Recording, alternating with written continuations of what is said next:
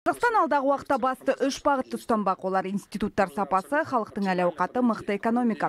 Бұл орайда елдің ең басты құжаты 2025 жылға дейінгі ұлттық даму жоспары болады. Онда ең басты салаларды дамыту саяси үрдістерді жетілдіру сынды бағыттар көрініс табады. Қазіргі таңда цифровизация агроөнеркәсіп кәсіпкерлік бәсекелестік қоршаған ортаны қорғау сынды салаларды дамыту бойынша жобалар қаралып жатыр. Құжаттар осы жылдың шілде айына дейін дайын болуы тиіс.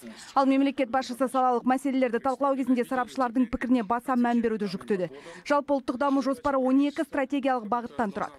Құжат негізінде 2025 жылға дейін 5 пайыздық өсімге шығып жалпы ішкі өнімдегі шағын және орта бизнес үлесін 35 пайызға негізгі капиталға инвестиция көлемін 30 пайызға ал шикізаттық емес экспортты екі есеге өсіріп 41 миллиард теңгеге жеткізуді көздеп отыр.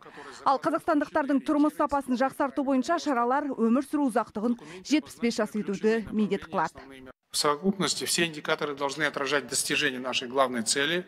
Жалпы алғанда барлық индикаторлар біздің басты мақсатымыз. Бәсекеге қабілеттілікті арттырып әлемнің дамыған елдер қатарына кіруге мүмкіндік беруі тиіс.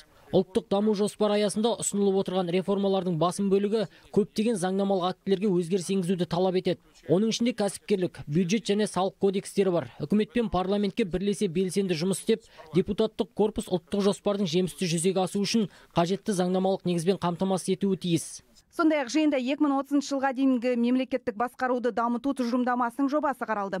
Бұл құжат мемлекеттік аппараттың кәсібилігін арттырып оның қоғамға есеп беріп тұруын мемлекеттік қызметтің сапасын арттыруға бағытталған. Тұжырымдаманың негізгі ережелері 2025 жылдың соңына дейін жүзеге асырылуы тиіс. Ал алдағы төрт жылға жоспарланған жекешелендіру жоспарына сәйкес 5 триллион теңгені құрайтын активтер бәсекелі ортаға тапсырылуы тиіс.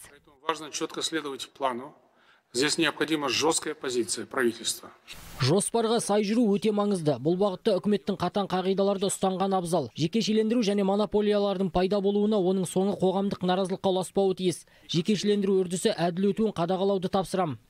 сондай ақ мемлекет басшысы объектілердің жүзеге асуын қадағалайтын қоғамдық бақылау механизмін қалыптастыруды жүктеді бұл орайда IPO құралын мейлінше кеңінен қолдану керегін айтты Следует возобновить программу «Народное IPO».